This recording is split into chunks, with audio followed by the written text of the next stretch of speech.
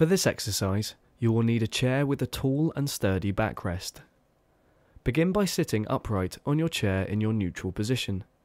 Take a deep breath in, and as you breathe out, slowly rotate your upper body round to one side.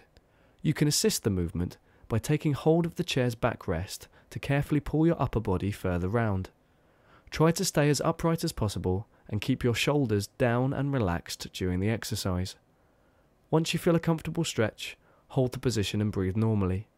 You should feel the stretch in your mid and lower back. To come out of the stretch safely, carefully release the back of your chair and rotate your body back round to return to your starting position.